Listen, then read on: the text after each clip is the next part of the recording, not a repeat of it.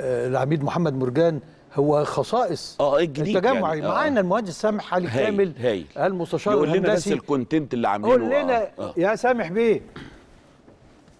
أهلا يا كابتن عبد يا حضرتك باش مهندس أهلا بيك يا كابتن ازي حضرتك يا عم أنت طبعا آه، أبو العروسة.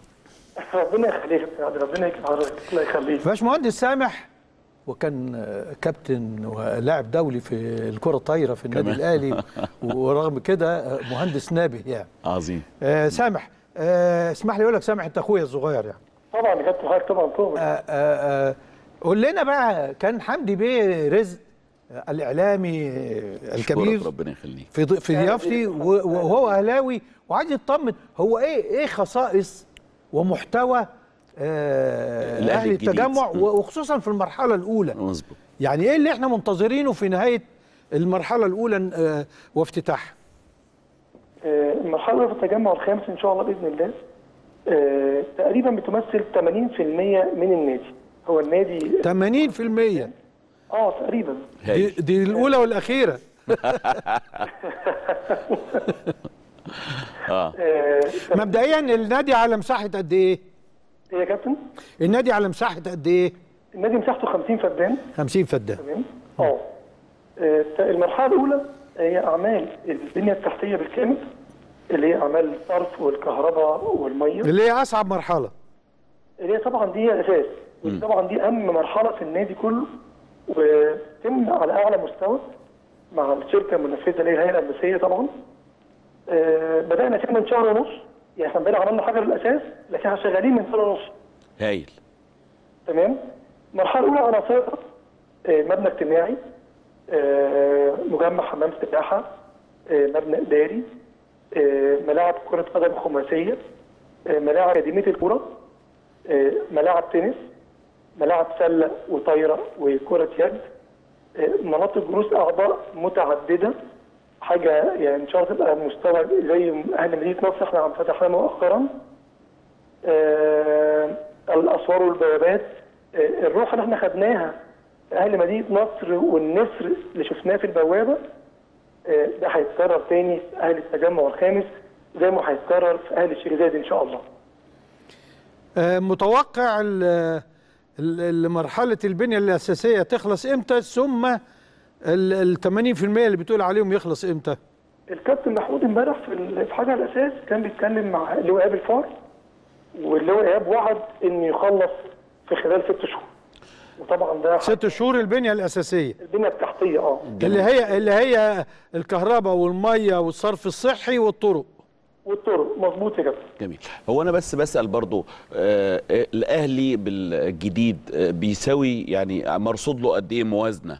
يعني أنتوا بتتكلموا في قد إيه موازنة عشان الناس بس تعرف حجم الإنفاق اللي هيتم على هذا الامتداد؟ آه، قرار مجلس إدارة كان متاخد من فترة للمرحلة الأولى كان راصد 350 مليون جنيه. 350 مليون جنيه. مليون جنيه. وتوقع طبعا إن هي تبقى مع الأسعار لو حصل فيها تغييرات هتزيد إحنا مش شغالين معاها لكن مبدئيا إحنا بنتكلم في 350 مليون جنيه كمرحلة أولى ده رقم آه المر... بس التاني عشان آه، أفهم المرحلة الأولى اللي هي لحد 80%. ما نستلم المباني ولا اللي هي البنية التحتية؟ لا يا كابتن لحد ما تستلم المباني والأعضاء تخش النادي آه جميل. آه. ماشي طيب دلوقتي التحتية لا كله إن شاء الله بإذن كله بإذن الله. و... و... ودي آه، في خلال سنة. هو هو هو هو الكابتن اتكلم عن مصادر التمويل بتاع هذا الرقم؟ والله بص حضرتك أنا عن نفسي بتكلم في الشق الهندسي. ده أنا آه. هقول لك. امم بقى إيه الجهات المختصة الكابتن محمود بيتولى مع إدارة النادي المختصة كتمويل. أنا. لكن بصراحة هم بيوفروا لي اللي أنا عايزه. طب ده انت أنا سنتين ده انت. محظوظ ان في مجلس إدارة يوفر لك اللي انت عايزه. شيء عظيم دي جدا. حاجة فعلا من عند ربنا يعني بصراحة هم مش متأخرين معايا في أي طلبات مادية بيوفروها لي بصراحة. يعني يعني دلوقتي إحنا هنشوف آه يعني منشآت على مستوى التحديث اللي حصل في مدينة نصر. تمام يا كابتن عادل. إحنا ماشيين بنفس الروح وطبعا لو ممكن يبقى احدث من كده كمان. اللي حضرتك تفتكر آه بس مع الحفاظ على الشخصية. كتيرة. آه. ممكن تبقى في أفكار تانية بس فيها الروح اللي إحنا خدناها. مظبوط مظبوط. طيب قبل ما تمشي ما أقدرش ما أسألكش على الشيخ زايد لأن في شغل كتير آه، المفروض إنه بيتم في الشيخ زايد.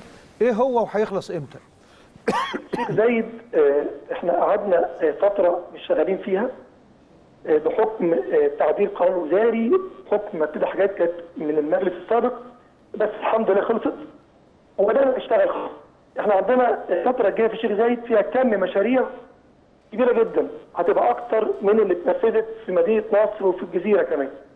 عندنا وال- حاليا شغالين في مجمع ملاعب سكواش ثمان ملاعب سكواش مطابقين مواصفات الاتحاد الدولي. عندنا في صالة كاراتيه عندنا في صالة جمباز. عندنا مبنى اجتماعي.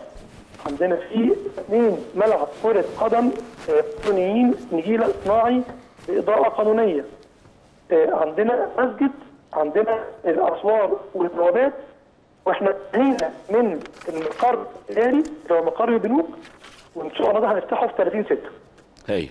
كل كل المشروعات دي كابتن عزمي آه، الشركات المنفذة خلاص آه، فينا شغالة. الموقع يبين طبعا يعني دلوقتي إحنا هنشتغل الفترة الجاية في سقف البدروم. في إيه؟ اللي هو ده حضرتك في البدروم. اللي قدام ده المجمع البنوك. آه. اللي على ده مجمع البنوك. ده إن شاء الله بإذن الله 30 6 السنة دي. يعني الثلاث بنوك هشت... هتسلمهم المقر بتاعتهم في 30 6 لا يا كابتن هم استلموا مني خلاص. هيتف... هيفتحوا 30 6 هنفتح 30 6 هايل. بسم الله ما شاء الله. إيه تاني؟ طبعا دي طبعا دي مشروعات خلال سنة ونص تكون خلصانة. طبعا إحنا بنفتح تباعا زي ما حضرتك عارف. آه، بنخلص بنفتح. زي مثلا مقر إداري خلصناه فتحناه. يعني مثلا أنت قلت ملاعب السكواش دي هتاخد وقت بيتهيألي يا آه كابتن. آه طبعا. لأن هي آه، مبنى مبنى عملاق ملاعب على دورين آه، وفيها كمان دور بدروم بغرف خلع ملابس آه، بجيم. كل الصالات يا كابتن عدلي اللي هتتبني اللي هي الكاراتيه والجمباز والسكواش فيهم خدماتهم كاملة. آه بأوض اللبس بالجيم بتاعهم. كامل المبنى كامل. ده جميل جدا جدا. قدامهم يا كابتن عدلي كمان مناطق جلوس أعضاء بالكامل بقى بخدماتها. طب الكلاب هاوس ال... ال... ال... الكبير الرئيسي أخباره إيه؟ إمتى هنبتدي فيه؟ إحنا إحنا خلاص مضينا العقد مع الشركة المنفذة وهنسلم موقع الأسبوع الجاي. هايل طيب يعني أنت في خلال سنة هتكون بتفتح في الشيخ زايد وبتفتح في التجمع. إن شاء الله بإذن الله. تباعا هنبدأ نفتح يا سيدنا عدي إن شاء الله. تباعا بإذن الله شاء الله. وإحنا معاك تباعا وربنا يحيينا. موفق، و... موفق. و... و... ونقول للناس يعني الحقوا قبل 31 مارس الأسعار والت... وال... وال... والتسهيلات القائمة حاليا لأن بعد كده الأسعار هتغلى تماما. طبعا. عندنا حاجة بس أخيرة يا كابتن عدلي آه. باذن حضرتك إحنا آه خلال يومين يعني بكرة أو بعده آه بنكون انتهينا من تغيير أرضية الصاله المغطاة آل الجزيرة. هايل. ح- ما يعني اتغيرتش من 12 سنة. ما أنا عارف طبعا. هترجع بقى تستقبل الماتشات وكل حاجة. إن شاء الله يعني الأيام يومين ثلاثة إحنا بنخلص خلاص. يعني بكرة على سبيل المثال بنخطط الملاعب. ربنا يقويك. والله يعني ربنا يعيننا بقى. آه لا لا ربنا يقويك صحيح. شغالين على كل الأصعدة. نشكرك آه، المهندس سامح كامل على هذه الإيضاحات. آه، المهم نرجع بقى.